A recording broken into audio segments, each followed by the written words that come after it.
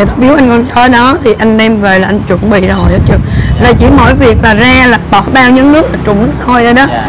thì anh anh anh thấy con chó khóc hàng đó hả? Thì anh cũng nói là cô Trang biết không thì mình dù mình ăn thịt. Tôi nói là cái chuyện mình đập đầu cái nó rất là bình thường tại vì anh nghĩ đó là vật dưỡng nhân mà thành ra anh rất bình thường như đập đầu con cá thôi. Dạ. nhưng mà nó khi mà thấy nó khóc nước mắt chảy lông rồng vậy á thì anh nói anh cũng ờ, động lòng. Thì anh mới nói là em cứ nghĩ á à, anh cứ nghĩ là anh làm như vậy là cho có để mà anh ăn thịt nó anh không bị ai nấy lương tâm. Là anh vô anh với một cái tô cơm con gà á mà tô cơm cục không cơm trắng luôn nha. Dạ. Anh nói bây giờ mày muốn sống đúng không? Mày ăn hết cái tô cơm này mày ra cái gốc ổi đó mày đái mày vô cái thùng này mày nằm. Thế là cho mày có thời sống còn không thì coi như là nghiệp mày hết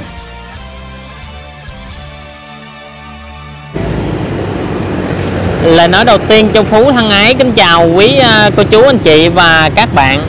Thì à, xin cho ngày mới châu phú xin chúc mọi người có một ngày làm việc thật là vui vẻ và tràn đầy hạnh phúc. À, qua đây châu phú xin giới thiệu cho quý vị à, tại một cái à, ngôi nhà. Tại ngôi nhà ở đây là là chuyên cứu trợ những à, chú chó à, mèo bị bỏ quang hay là hay là bệnh tật đó quý vị. Thì à, tại đây à, được à, cái cô đó đó phát tâm để à, nhận những chú chó quan à, không có nơi mà nương tựa đi về đây á quý vị. À, để mà nuôi. Thì qua đây châu phú thấy à, cái một cái câu chuyện này đáng à, để à, giới thiệu cho mọi người à, thấy à, những cái à, lòng tốt và những à, cái người tốt à, nuôi dưỡng những chú chó nha quý vị. Đây đó nó chó dễ thương không? Nào này không quý vị. Rất là tuyệt vời nha quý vị.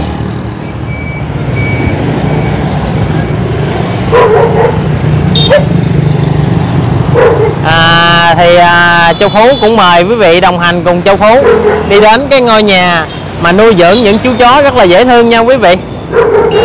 Đây là ngôi, cái cái cái cái nơi mà để mà nuôi dưỡng những chú chó.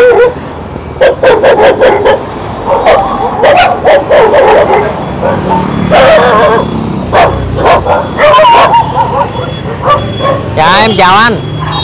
Dạ. Vậy ha. Ủa, mình mình mình vô vậy rồi à?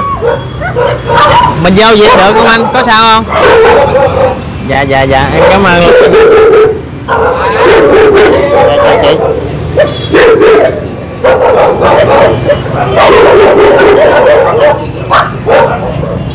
Chị á Vô vô vô vô gì được không chị?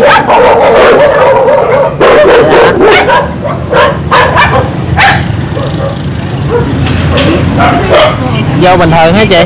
Dạ dạ dạ dạ. Đây quý vị. Châu được biết là chị Thu Trang nhận nuôi các à, con chó và những à, chú mèo quý vị. À, bị người ta bỏ rơi không có nơi nương tựa thì chị nhận về đây để nuôi. Hay là bệnh tật chị cũng à, chăm sóc tận tình đó quý vị. Thì nay Châu đã vào trong nhà và nhờ chị Giang chia sẻ là à, ở đâu mà có những chú chó rất là nhiều nè quý vị. À, hay là, là bà con bỏ rơi hay là cái đem đến người ta cho chị Trang thì qua đây Châu sẽ à, làm cái cuộc phỏng vấn. À, mời quý vị à, cùng à, Châu đi à, hỏi thăm nha nha quý vị. Bé bịch thuốc cho mẹ luôn. Dạ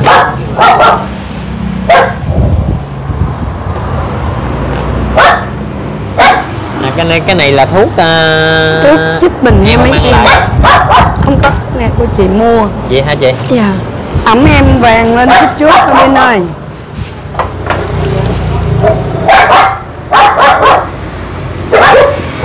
Đi đến đây thì ngay chăng cái giờ chị chích thuốc cho những chú chó bị bệnh đó quý vị Thôi em này là chị Phú ngay đêm 30 Tết là đang bị cái rễ thần kinh giật giật luôn à, Hả chị? Không em không uống được mà bữa nay đã ăn uống rồi À vậy hả chị? Đây quý vị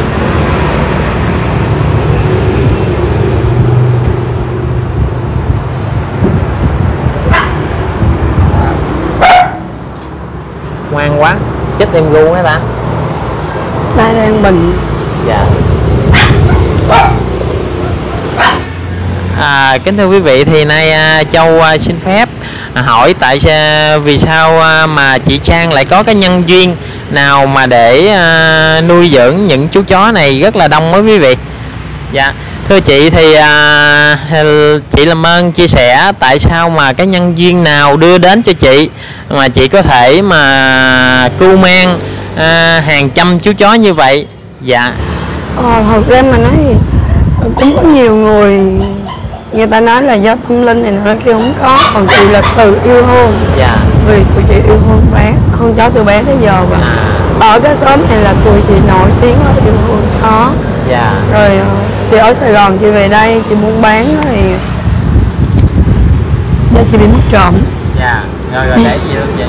do chị bị mất trộm nhiều quá Dạ. thì anh chị có xin chó về cho chị nuôi rồi một con hai con những con đầu đó chị chưa biết chích ngừa đâu. Dạ. tại vì cứ nuôi theo như ba mẹ chị ngày xưa là cứ nuôi rồi yêu thương ăn uống thì phải xé nhỏ nhỏ rồi cho ăn lấy xương rồi ra. Cứ sợ ăn xương là bị đi cầu ra máu. Dạ. ừ, ngồi từ bé tới giờ cứ nghĩ là chó mới ăn xương mà đi cầu ra máu là, là do bị ăn xương. Dạ. cho nên xé nhỏ cho nó ăn nhưng mà nó vẫn bì. Thì sau này mình mới đi bác sĩ mới biết là chó nuôi cần phải chích ngừa. Rồi từ một con rồi lên hai con ba con chó đầu tiên của chị nuôi là tám con là từ cái sự yêu thương mà chị đi mua có chị xin có. Ha. rồi một bạn bạn đó thì biết bên cứu hộ chó mèo. Dạ. bạn có cứu một em là em su nằm ngoài đó đó. Dạ dạ bị chủ mà nuôi để chăn gà đó đó em quay mặt vô á. Vậy đó ha. dạ đó đó đó. Su su ơi su su châu điên sẽ qua bên nha con không phải là con đen sủa nha con đen vàng á. Thì bạn nó cứu do kêu gọi trên cộng đồng á.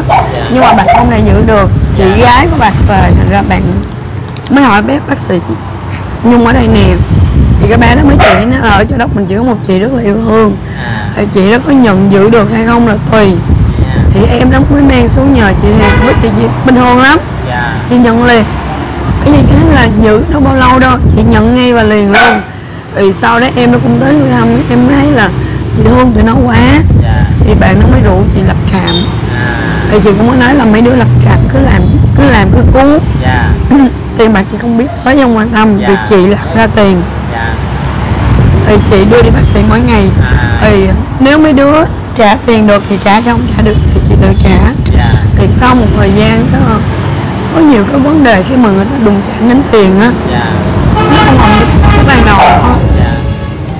Do chị bị cảm nha quý vị nên à, nói chuyện à, nó hơi à, bị tắt tiếng á, mong quý vị thông cảm nha. cho nên chị uống nước muối Dạ. rồi ờ, chị xin dừng lại ở đó chị không tham gia với mọi người nữa À. nhưng mà không có nghĩa là chị dừng lại Dạ. không có nghĩa là chị dừng lại Dạ. chị vẫn cứ gọi là cứ chị thấy thấy hương là cứu hương là cứu thì lúc đầu chị cứ nghĩ là ủa tại sao mình mình mình cô mang được mấy đứa này mà có một đứa nữa mình không cô mang được Dạ. tội quá mình không có bỏ được Dạ. thế là chị cứ ôm vô ôm vô mình điểm luôn là ba mươi mấy bốn chục đứa đó rồi sau là chị đây chị buôn bán đồ xi rất là đắt Dạ. chị buôn bán đồ vàng có tiếng ha. dạ thì ờ, lúc đó ba chị mới nói ba chị không cho cứu nữa Dạ. ba chị nói là bao nhiêu rồi rồi tại vì mà càng nhiều càng nhiều cái khách mình đi Dạ. Để đâu phải ai cũng thương chó như mình Dạ. mà cũng không phải ai cũng mà cảm nhận được chó mình sạch sẽ là dơ Dạ. Dạ. người ta gớm con chó nhi từ cái nhìn đầu tiên luôn Dạ. à, chị tự động mất bị mất khách và để mà cô mang được mấy đứa này là chị phải trả giá rất là đắt Dạ. là chị bị ba chị đánh đánh lên bờ xuống ruộng lúc đánh không phải là không thương chó Dạ. mà là vì chị không nghe lời cái con mình quá cực. Rồi định điểm luôn là ba chị làm áp lực là một chị phải đi ra ngoài Dạ. với hai bàn tay trắng hai là ở nhà mình buôn bán Dạ. rồi cuối cùng là chị đi ra ngoài Dạ. Ờ, từ bảy tám con chó mà ba chị cấm riết chị lên tám chục đứa À. là cái chị ra khỏi nhà là chị đã tám mươi đứa rồi à rồi nhưng mà ba chị không phải là không thương nữa nha rồi. tại vì ba chị vẫn nói với mấy anh mấy em ở trong nhà là ba chị vẫn nguyện làm sao mà trúng được tờ vé số. À. mua cho chị miếng đất. Ở đâu đó để chị ở để không bị người ta đuổi nhà nữa. À. tại vì mỗi một lần mà người ta đuổi nhà chuyển rất là khó khăn vì một mình mình không sao nhưng mà cả một đàn chó không phải ai cũng chấp nhận được. Dạ. Đó. Thì đến cuối cùng chị phải đi vô ruộng giờ luôn. Ba chị mất chị mới về lại nhà này. Rồi ờ, ôi chị bị đánh đánh bị gãy răng luôn á. Răng của chị đang là răng giả nguyên một hàm trước luôn á ôi chị bị đánh lên lên bờ xuống ruộng luôn nhưng mà có lẽ là vì cái nghiệp của chị với mấy đứa này nó nhiều quá. Cho nên chị ờ, vẫn chọn cách là bảo vệ mấy đứa này. Dạ. Rồi đến với chị là chị thấy tự yêu thương mà ra chứ không có cái gì hết. Cứ yêu thương chứ thật sự mà nói là chị yêu thương mấy đứa này hơn cả bản thân chị? À, chị có ông xã ông xã chị ở nước ngoài. Dạ. Nếu mà chị đi chị đã đi lâu rồi. Dạ à, chị vì cái đứa này mà chị cứ ở đây. Dạ dạ dạ.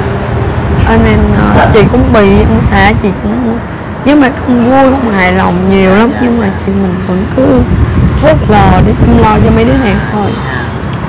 Thật sự mình là với chị.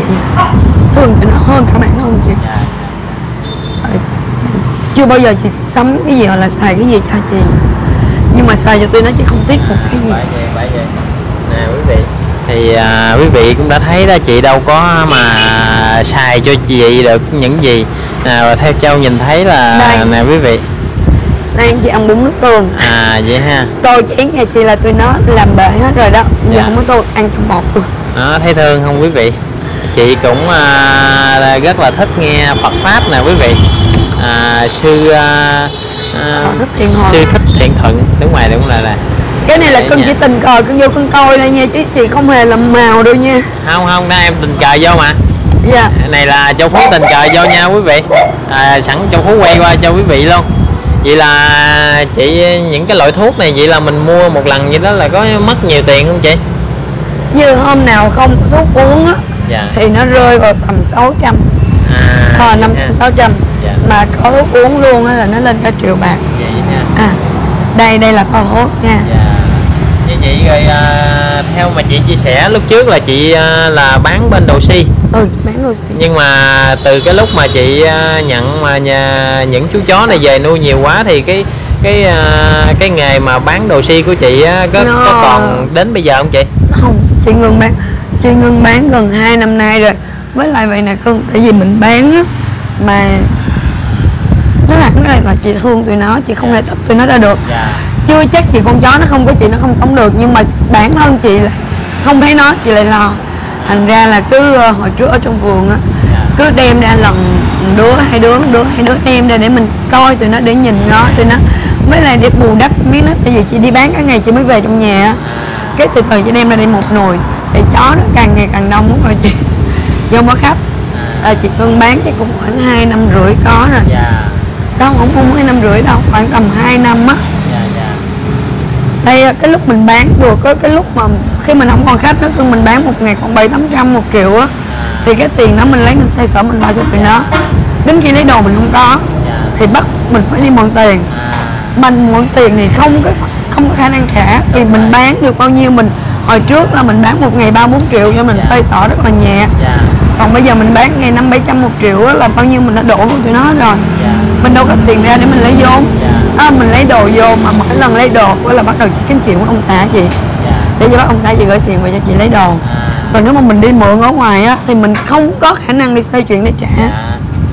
Tại vì mình bán bao nhiêu mình làm hết nhiêu nhưng mình làm hết nhiêu rồi. Nên ra chị sẽ nghĩ là mình bán vẫn được á. Tại vì chị có làm cái chuồng ở dưới sàn đó nè thì có gì ban ngày mình lùi cho nó xuống chuồng hết. Dạ. tối mình cho lên nhà vẫn được. Nhưng chị thấy mình càng bán càng làm nợ. Dạ. vì bán bao nhiêu mình làm hết bao nhiêu rồi. À. Tới khi mình đi lấy đồ mình cứ đi mượn tiền. Dạ dạ. Ra bán mình không có dư mà mình thấy nợ. Thành ra là với lại á mà khi mà cưng chăm cái số lượng chó mà gần 200 con á mà chó bệnh rất là nhiều á thì cưng không thể nào mà toàn không toàn ý chăm này nó được hết. Dạ không thể nào. Cho nên chị nói thật là bây giờ mấy đứa nhà chị sống được. Có ăn có ăn có thuốc chích rồi là do các anh chị cộng đồng mà ra. À. Thì mỗi người một chút. Chị không có được mạnh thường quân định kỳ như mọi người là một người cho làm bao nhiêu bao nhiêu. Dạ. Nhưng mà chị vẫn được cho lay ra những anh chị nào thấy thương. À. chẳng hạn như có những anh chị coi youtube. À, alo về em ơi. Chị coi youtube chị thấy như đó chị gửi cho em 100 200 à. Vẫn có là chị nhờ những cái khoản đó nhưng mà không phải là những anh chị đã gửi ở ngoài. Đôi khi Dạ. người ta gửi chỉ một lần. Dạ. hoặc là hai ba tháng người ta gửi một lần. Thì những cái khoản đó là những cái khoản chị chăm lo được cho mấy em này. Và những cái bạn ở trên mạng gửi 500, 300, 200, 1 triệu, 2 triệu vẫn có. Cũng vẫn có một vài anh chị người ta gửi mà không để tên 5 triệu cũng có. Ha ờ, nhưng mà thỉnh thoảng mấy anh chị gửi chứ không phải là gửi định Dạ, kỳ dạ, dạ. giống như những photo khác. Đúng rồi chị thì à, à, qua đây à, châu phú cũng à, chia sẻ cho quý vị à, một cái tấm lòng rất là nhân ái gì đó quý vị. Thì à, châu phú cũng à, mong mọi người à, yêu thương vật à, và có thể chung tay giúp đỡ cho chị à, để mà nuôi dưỡng những chú chó này được tốt hơn nha quý vị. À, hiện giờ là chị nghĩ buôn bán gì cho quý vị nhưng mà châu phú nhìn thấy nè chị ăn à, bún rồi xịt nước tương vô thấy đau lòng quá quý vị. À, không có tình thường có gì đâu nhưng mà tôi chỉ mắc cỡ là tại không có cái tô. À vậy ha chị? Chị rồi, rồi, rồi bên đó sao mà em thấy chó con tùm lum dân đó chị? Em mấy đứa này là mình cứu là nó đang có bầu và nó bị bỏ nữa À. nhưng mà đợt này là cháu bỏ là chị mới có một em này. Em này là mới bỏ hồi tối hôm qua. À vậy đó ha chị? Thôi hồi chiều hôm qua. Bỏ là tại vì bị bệnh hay sao? Bỏ chị? Ừ, đôi khi người ta xin về cái người ta cảm giác người ta chán người ta không muốn nuôi nữa người ta mang đi bỏ. À, là người ta bỏ trong này nè rồi một em lộn đưa ra cho chị. À vậy đó ha chị. À.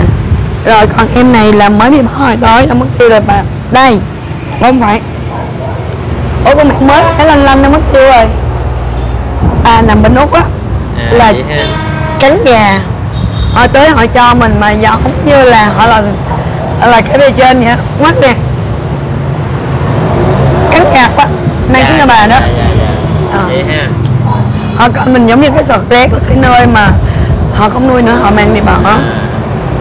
Dạ. Rồi em thấy bên đó có mấy cái chuồng trên đó đó là, là chị nuôi cái gì chị? Chuồng mèo. Mèo ha. Tại tối là chị không có cho mèo chị đi chơi à, tại mèo mà cưng nuôi mà cưng không nhốt là coi như là nuôi giùm nuôi mướn với mấy con mèo à, cho nên tối là mấy em ở trên lầu nữa ở trên lầu có trong cái chuồng vậy nữa. Vậy là Nè, số số lượng ở đây vậy là hiện giờ là chị đang nuôi là bao nhiêu con ờ, chó và mèo rồi chị? Mèo chứ khoảng hơn 20 đứa. Trời ơi vậy đó hả? Ừ. rồi ờ, chó thì ờ, hồi trước Tết là trên 200 á nhưng mà bây giờ thì chắc không tới 200 đâu. Vì chị cho cũng được nhiều cứ có nghĩ đi trong một ngày hôm qua thôi. Dạ. Chị bị bỏ năm con một con này sáu con chó lớn. Dạ. Một em này là mới bị bỏ hôm qua. Đó. Em nào chị đó đó, đó cái em cục vệ xích đó. Một xích đó ha. À đó là mới bị bỏ hôm qua. Và hai em nằm trong chuồng đó. Dạ dạ. Hai em nằm trong chuồng này nè. Đó cũng là mới bỏ hôm qua. dạ, dạ, dạ. đó trong chuồng ha. À chị theo mà em nhìn thấy á, em mới bước vào trong nhà chị em nhìn thấy có những chú chó sữa quá chừng luôn à. Nhưng mà khi mà những người mà người ta đem chó đi đến đây cho chị đó có khi nào mà chị có gặp những chú ờ, chó nào quá hung dữ chưa? Có. Vậy hả? Nhiều luôn á. Vậy ha. Và bản thân chị phải trả giá cho nó Tèo lật cái tay lên cho coi cái con bon nó cắn và chị cũng bị bon cắn ở trên này con chị cũng bị bon cắn. À, nó là xoáy thái nhưng mà do giống như là khi cái người nuôi mà không phải là mình nói cái tâm tâm hiền nha. Dạ. Nhưng mà cho cái người nuôi người ta dạy thôi.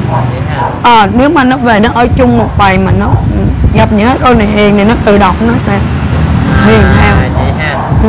dạ. Sư, uh, đâu uh, sư huynh uh, cho để uh, nhìn thấy cái tay mà bị chó cắn hay sư huynh bên này bên bon nó bon cắn đây nè quý vị?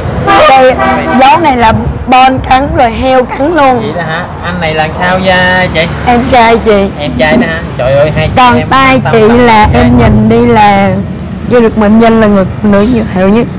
Heo chồng heo là do đi cuối nó nó cắn cắn bấy trời heo ơi thấy chưa quý vị? Cái ốc ốc của châu châu phú mà bị nổi da gà luôn quý vị lúc nãy vô á châu không dám vô quý vị. Thì à, qua đây à, em cũng à, à, à, xin phép được hỏi chị à, thay vì mà chị có một điều ước chị sẽ à, ước điều gì cho mọi người biết? Hai điều được không? Dạ được. Một là chị mong ba điều đi. Chị mong nhà nước Việt Nam mình sớm có cái hiến pháp để bảo vệ mấy em. Dạ. Vì tụi nó đáng được bảo vệ. Dạ. Hai nữa là chị mong ý thức của người dân những cái người mà từ xưa giờ có cái suy nghĩ cố một con chó là thịt. Dạ.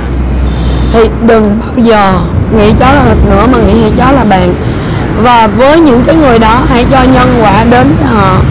Đừng khốc liệt quá mà hãy để cho họ biết được à mình ăn cái đó là có nhân quả đến đó. Dạ. Và chị đã từng gặp được hai người đã từng là những cái người mà ăn thịt chó mà một tuần bốn con. À ha nhưng mà một cái nhân duyên đến với anh là anh hình như là bên hội xây dựng hay là gì đó. Dạ.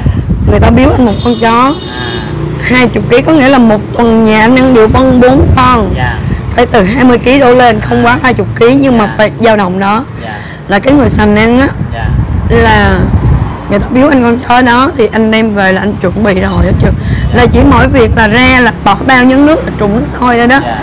Thì anh anh anh thấy con chó khóc hàng mắt vậy đó hả? Thì anh cũng nói là cô Trang biết không thì mình dù mình ăn thịt tôi nói là cái chuyện mình đập đầu cho nó rất là bình thường. Tại vì anh nghĩ đó là vật dưỡng nhân mà thành ra anh rất bình thường như đập đầu con cá thôi. Dạ. Nhưng mà nó khi mà thấy nó khóc nước mắt chảy lông rồng vậy á thì anh nói anh cũng ờ, động lòng. À thì anh mới nói là em cứ nghĩ á à, anh cứ nghĩ là anh làm như vậy là cho có để mà anh ăn thịt nó anh không bị ai nấy lương tâm. Là anh vô anh bới một cái tô cơm con gà á mà tô cơm cục không cơm trắng luôn nha. Dạ. Anh nói bây giờ mày muốn sống đúng không? Mày ăn hết cái tô cơm này mày ra cái gốc ổi đó mày đái mày vô cái thùng này mày nằm. Thế là cho mày có hồi sống còn không thì coi như là nghiệp mày hết. Cưng biết là anh nói mà nó ăn mà mắt nó rớt rớt ăn hết cho một tô cơm trắng nó ra đúng cái gốc đó thì đi vô thùng nằm. À anh không ăn thịt được nữa nhưng mà anh nói đây giống như là một cái gì đó mà nó muốn cái cơ hội được sống á. Nè, muốn nói gì em nói đi. Không phải ốc em nổi. Thì anh nói trong núi Sam á. Anh nói anh trong núi Sam và chị nói điều này bác sĩ Nhung ở đây biết tại vì ha. anh đó là là khách của phòng khám bác sĩ Nhung. Dạ. Thì um, anh giữ nó lại chưa được một tháng nữa. dạ mới có ba bốn tuần gì đó là nó đẻ ra tám đứa con. Trời ơi. Anh nói là anh nhìn anh khóc luôn là Dạ. từ đó về sau là anh bỏ được chó luôn. Dạ. Mà anh quay là thương chó hơn thương cả con anh. Vợ của anh kể là con anh là một tháng trời. Dạ. Anh không ra thăm con anh mà anh ở nhà anh tập trung anh lo cho cái con chó đó. À là cũng có một con chó bệnh và anh thương vô cùng luôn. Dạ. Anh thương cái đoạn mà đi bác sĩ giúp anh tự truyền nước biển ở nhà và chị can đảm tự truyền nước biển tự chích được là từ anh đó mà ra. Dạ. Nếu người ta từ một miệng thịt chó mà người ta yêu thương mà ta làm được nhiều điều cho con chó mà mình người cu mang chó mèo mà tại sao mình lại sợ cây kim? Dạ. Mình lại sợ máu và từ đó chị mới tự chích thuốc cho con chị cho tự có nước biển cho con chị đa phần là ở đây chó chị tự điều trị. Dạ. Cho nên cái chi phí á, nó so với những anh chị foster khác nó sẽ rất là thấp. Dạ tại vì một là thường những anh chị foster khác các bạn foster khác người ta phải muốn nhà. Dạ. Đặt ở một cái điều kiện rồi. Hai nữa là mọi người đa phần đi lưu chuồng. Dạ. Bệnh đi lưu chuồng thành ra người ta không có cái tiền à, cái chi phí nó rất là cao. Còn như chị không có mạnh thường quân thường trực nhưng mà chị vẫn chăm sóc thì nó được là đa phần chị tự làm ở nhà hết. Dạ dạ. Từ chỉ trừ cái nào mổ xe chứ mới đi bác sĩ thôi dạ Điều này đó là mọi người là yêu thương chó nhiều hơn. Dạ. đừng bao giờ mà ngược đại tôi nói đừng bao giờ nghĩ tôi nói là một con chó giữ nhà và khi đã nuôi con chó thì làm ơn có trách nhiệm tới cuối cùng. Dạ. Vì khi mà mình bỏ con chó thì đối với mình á, là chỉ bỏ một cái con vật. Bỏ một con vật không còn giá trị lợi dụng nhưng mà đối với con chó là cả một bầu trời sụp đổ với chân nó dạ. Vì nó không biết nó làm gì sao mà để nó bị bỏ đi và điều ước thứ ba của chị là chị ước gì có một anh chị nào đó. Dạ. Dù là Việt kiều ở Việt Nam hay là ở đây cũng được. Dạ. Mua cho chị một cái miếng giường nào đó mà anh chị đã cướp việc đúng tên. Dạ. Có nghĩa là chị cho chị mượn và cho mượn đúng giường. rồi. Dạ. để chị cho đàn con chị vô đó nó ở nó an toàn hơn. À vậy hả chị? Thì Ờ. chị là chỉ như thế thôi. Dạ. Dạ. À, em cũng chân thành cảm ơn chị rất là nhiều nhé À. con chị cũng nói nữa là nếu mạnh thường quân thường chị không có là nhà của chị ở bây giờ là được một vị mạnh thường quân là chị đạt chị bảo cho chị cất. À vậy ha ờ chứ nhà chị lúc đó sắp lập rồi là do chị đã cho tiền cho cất gần 200 triệu và chị Hằng Nguyễn là cái người hỗ trợ âm thầm cho chị mỗi tháng 10 bao gà. Và bây giờ chị đang có một vị nữa ờ, chị đó cũng âm thầm hỗ trợ chị. Trong những lúc khó khăn đó nhưng mà chị thì chị không dám làm phiền. Dạ đúng rồi tại vì chị luôn suy nghĩ là mình yêu hơn mấy đứa này. Mình cu mang mấy đứa này là từ mình mà ra từ cái lòng yêu hơn mình xuất phát ra. Không ai ép mình. Cho nên chị chẳng bao giờ chị dám làm phiền mọi người. Chị thì à, qua đây chị có à, những cái à, câu gì mà nói đến với các mạnh thường quân đã giúp đỡ cho cho chị trong thời gian qua? Hỗ trợ ờ, cho chị đó. Ờ, bây giờ em thì sao ta? Em em không nhớ hết tên mọi người tại vì em không có chủ động để nhớ tên Dạ, mọi dạ. người. Vì thật sự thời gian chăm chó em rất là nhiều. Đúng rồi đúng rồi. Nhưng mà em vẫn cảm ơn chị vẫn cảm ơn tất cả những anh chị em nào hỗ trợ cho con nhà chị. Dù là 5 ngàn, 10 ngàn một bịch hạt đôi khi chỉ là thức ăn vùng mọi người đi ngang cho thôi. Em cảm ơn rất là nhiều. Vì ở đó nó không tính bằng cái tiền nữa bằng cái vật chất nữa mà nó tính bằng cái tình nghĩa. dạ cái sự yêu thương mọi người đang đối xử với các con nhà chị. À, cho nên cảm ơn mọi người rất rất là nhiều. Dạ. Cảm ơn rất là em nhiều. cũng à, chân thành cảm ơn chị rất nhiều. Thì à, qua đây em cũng à, sẽ hỗ trợ cho chị một phần để mong mà được giúp đỡ cho chị trên cái con đường mà lo cho những chú chó đáng thương này nha chị. Bởi vì cảm ơn Dạ, nhiều, dạ, chị dạ. cảm ơn rất nhiều À, kính thưa quý vị, thì hôm nay Châu Phú cũng đã đi đến à, thành phố Châu Đốc để à, cúng bà thì đi ngang nhà của chị Thu Trang á quý vị. À, nhân dịp đây mình thấy chó quá nhiều. À, Châu đã đi đến đây và quay. À, tại sao chị lại có cái nhân duyên mà có thể mà nuôi dưỡng đâu à, hàng trăm chú chó như thế này nè quý vị Ờ, rất là cảm động. Thì cái kênh của Châu Phú nó cũng còn nhỏ quý vị. À, Châu Phú cũng à, xin chích 200 ngàn đồng à, của mình để hỗ trợ cho chị có thể mua chút thuốc hay là mua gạo gì đó để cho những chú chó này à, ăn và được tốt hơn. Châu cũng xin kêu gọi mọi người à, có tấm lòng à, để mà giúp đỡ cho chị. À, chị chỉ cầu mong á, là có mượn một cái miếng đất của mạnh thường quân nào đó cho chị ở và nuôi dưỡng những chú chó này thôi. À, chỉ có ước nguyện là nhỏ nhoi như thế. Mong mọi người hãy à, tạo điều kiện và giúp đỡ cho chị nhé. À, Châu à, xin gửi cho chị 200 ngàn. Chị cảm ơn rất Dạ. nhiều. Dạ dạ thì à, châu cũng à, chân thành. À, cảm ơn quý mạnh thường quân đã theo châu trong thời gian qua. Và cầu mong quý vị hãy giúp đỡ cho chị trang à, có được một cái điều ước nhỏ nhoi đó. Dạ chân thành cảm ơn. Thì em cũng chân thành cảm ơn mọi người cũng một năm mới chúc cưng mà mọi người là nhiều thật nhiều sức khỏe. Dạ, có sức dạ, khỏe dạ. mình là có tất cả. Dạ dạ dạ vậy Rồi, em dạ, cũng, cảm ơn à, nhiều. chúc chị có thật nhiều sức khỏe ha. Gặp Rồi. nhiều điều may mắn hơn dạ rồi chị dạ dạ dạ. Em chào chị. Dạ, đưa này là cho em nè thôi chị cảm ơn nhiều nha. Dạ dạ dạ. Chị cảm ơn